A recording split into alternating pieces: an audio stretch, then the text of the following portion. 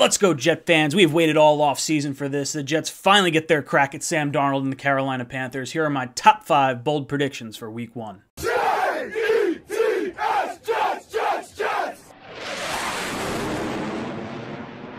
Before we get started, I want to thank BetQL for sponsoring this video, the only app you'll need to beat your sportsbook.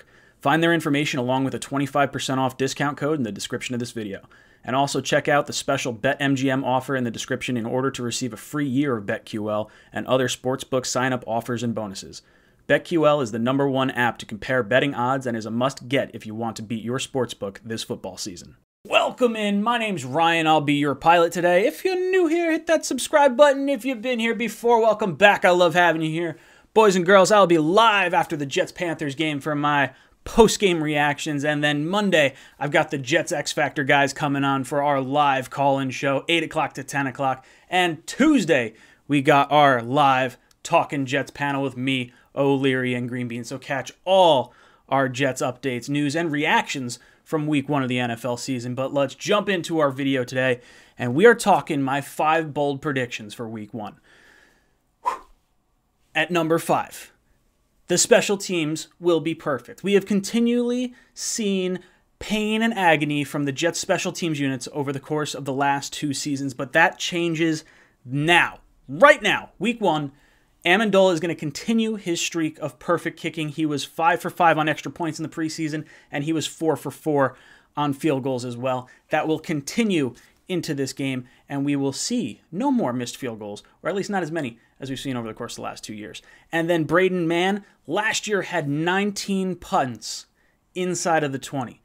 In just three preseason games, he has seven. So this guy has been on fire. He is going to be a lethal weapon when it comes to downs and distances and field position and all that good jazz. So special teams, number five on my list. At number four, we're talking the defensive line, and I think this is a matchup the Jets must exploit. The Panthers' offensive line is the weakness of their unit. They are without starting right guard John Miller. I think this is an area where the Jets need to take advantage of this Carolina Panthers team, and they need to get after Sam Darnold. I think the Jets defense is going to tally up five sacks after only having 31 all of last season. Now, you look at the grades across the offensive line for the Panthers 58, 48, 63 4, 64 7, and obviously Moton on the other side with an 81.6. So if you kind of stay to the left side of that line and you have your guys like Quinnen Williams, John Franklin Myers, Foley Fatukasi, Shaq Lawson just coming down, bearing down on that left side of the line, I think the Jets are going to be able to put pressure on Sam Darnold specifically up the A gap and that left side of the line. So five sacks from the Jets defensive unit. At number three, we're talking the running backs and the offensive line. Last year, the Jets ran for 4.1 yards per carry. That was good enough to be 23rd in the NFL. Well, that's going to change this year with the additions that we made to this offensive line. The Jets running backs will run for five yards per carry this week. Mekhi Becton, 74.4 run blocking grade. AVT, 76.3. McGovern, 70.5. Morgan Moses, 84.7. There are a lot of big fatties on this line that just want to steamroll over you. I think you follow right behind Highway 77 and Alijah Vera-Tucker, and you are going to be running wild at the second level. So five yards per carry for our New York Jets. At number two, we're talking Christian McCaffrey, the X Factor, likely the top pick in your fantasy draft this year. Last year, the Jets held opposing running backs to 112 yards per game. That was 12th in the NFL.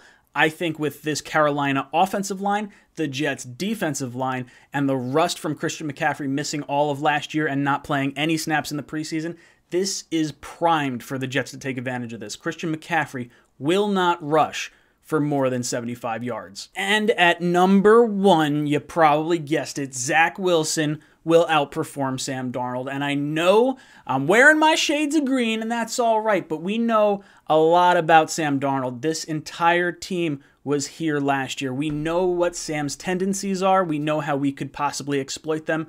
And Robert Saleh went against Sam Darnold last year. This cannot be, you know, overlooked. The guy knows how to game plan against him. So I think that Zach Wilson will be able to take advantage of the five yards per carry we're going to get on the ground. I think he will be able to utilize play action. I think he's going to take advantage of a Carolina secondary that is, eh, a little unproven. I think the Jets and Zach Wilson are primed to come out of the gates 1 0 in Carolina. So, guys, let me know what you think your top five bold predictions are for the game this week. Let me know in the comments down below. And as always, go Jets.